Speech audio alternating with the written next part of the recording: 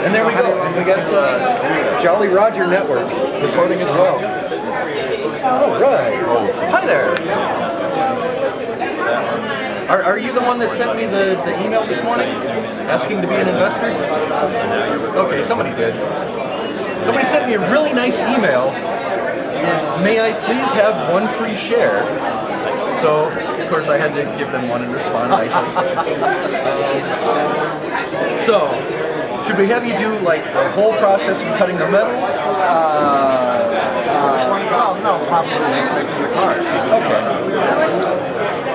That's eight and a half dollars. So, okay, so the process starts with the blank card. It needs to have the hole punched in it, Okay. and that's the punch for that denomination. Oh wow, you made this? No, these you can buy at like uh, Michaels, or if you do it from the bottom, then yeah, if you hold it like that, then you can see Okay. and insert it like that, Oh. and then you can center it nicely. Uh, Why are you able to? Oh, because these are designed for some other purpose, right? Yeah, those are they're for they're general crafting, Oh, you press here. and so there's different sizes. This is a one inch. Ah, got it. Okay. Yeah. Ah.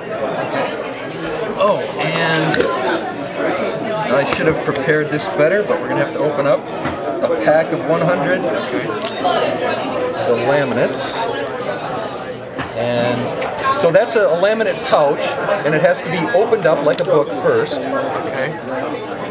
Okay. and insert the card, Okay. and then take one of the pieces of the metal. That's a pre-measured piece. You make these yourself? Uh, yeah, I cut them. I use a, uh, a gunpowder scale to insert. It comes in a roll, and I straighten it out and insert it to find where I can cut it. So and that's right. Yeah, and then wrap it in one of the protective sleeves. Okay.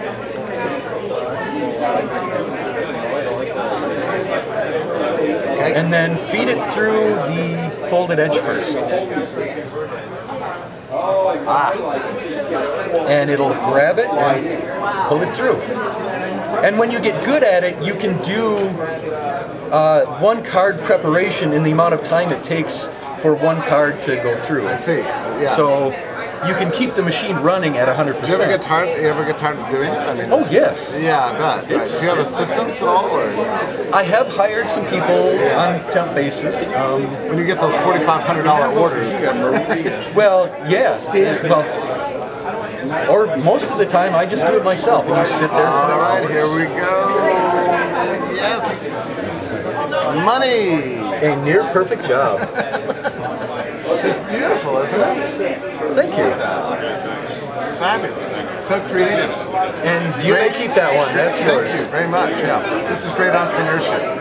And actually, one of the options that, that somebody was saying that we should be doing is having people like write things on there, or we have we have blank cards uh-huh. that people could. Oh, okay.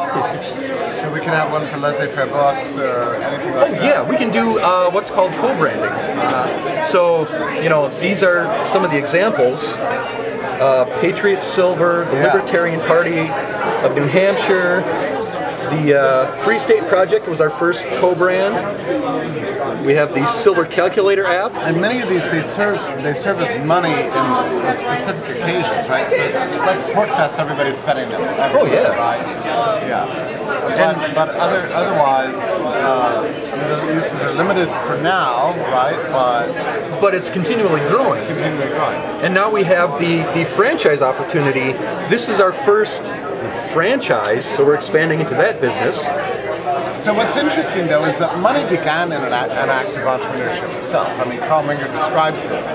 It's not as if it's just an anonymous organic process, money magically appears. No, it's because smart people go, hey, here's a cool thing. This could work for indirect exchange. Uh, it's, it's like a business, you know, it's, it's entrepreneurship.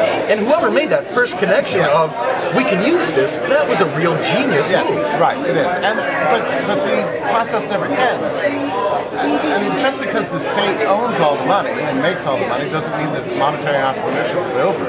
It, can, it can begin again whenever the money fails, Well, uh, and or it starts to fail, then, then you've got people like you who step in. And we've got, you know, an example here. This is one of the earlier versions of our card. Right. And you can see on the back, you know, it's fairly plain. The newer versions are um, a nicer design, and we have the QR codes on the back. Right. So people can find the, the Silver Calculator app or use the other QR code to directly find out the value of To, the card. to con, uh, convert it into any other currency. yeah. Dollars, yen, euros, Bitcoin. Yes. And you have a good relationship with the Bitcoin community. Oh, Yeah, absolutely. so you have a kind of a, a combination of uh, high-tech digital currency with this sort of ancient value of precious metal, And all, they- and all they- working together. they complement each other very well. Yeah, and they totally eliminate the need for any of the government money. yeah. So we're very happy about You're that. you're a great man and a great hero. What you've done, congratulations to you. Thank you. I'm excited about it. I think I'm just going to finally do the article that I should have done last year. about it. That would be fantastic.